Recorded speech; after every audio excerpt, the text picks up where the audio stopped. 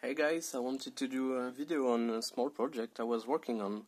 Um, basically, yeah, most of you I guess already know this board. This is a TP4056 and basically what it does is uh, it, it's made to charge a single lithium battery cell easily from 5 volts, for like for example USB.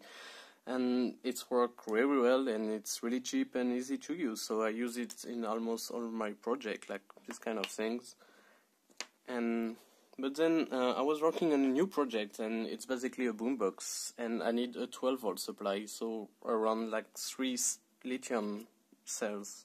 And you can't use this to charge three cells at a time. It will not work at all. So uh, this is what I came up with.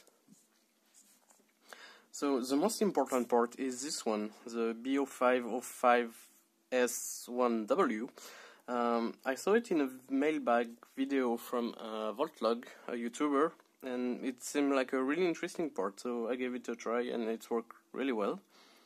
So basically what's happened if uh, I have a small a micro USB breakout board, so I can plug uh, micro USB to provide 5 volts.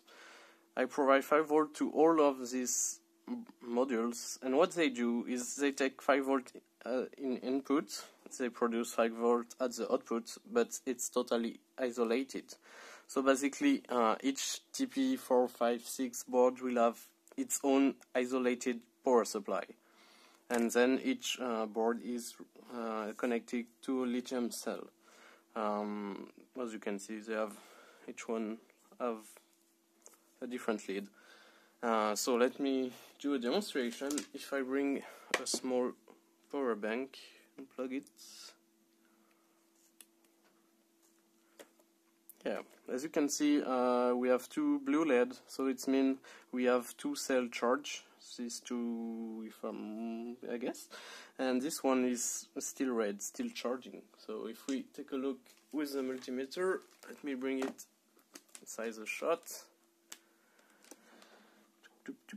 so this one we have 4.15 charge considered charge.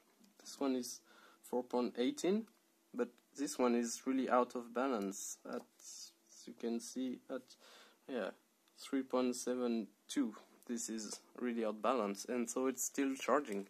And yeah, so each shell is really independent from the other one. And as you can see, I have 12 volts across. So yeah, I'm really happy. It's worked really well. Um, it the only limitation I would guess is uh, as it's one W, so it's mean one watts. Uh, it's basically that uh, each module can only handle 200 milliamps across. So yeah, uh, I'm I had to mod the TP456. Uh, usually on it you have a small SMD, um, it's a 1K I guess, resistor across here, and it sets the, um, the current. For So the default is with 1K is um, the current is 1 amp. So it's obviously a bit too much for this. Uh, I tried at the beginning and they were getting really really hot.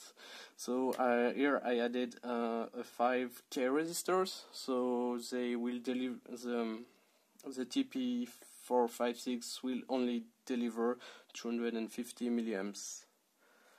Um, yeah, and so it's worked really really well, and um, so I hope it's helped you and see you.